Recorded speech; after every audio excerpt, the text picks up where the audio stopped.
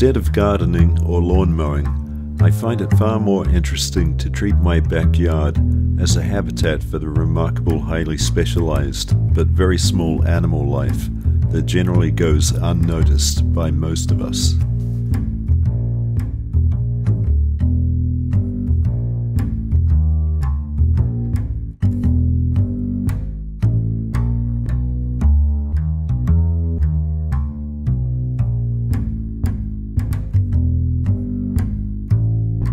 All of this is filmed by me in my small backyard, close to New York City, perhaps the last place you would imagine finding interesting nature.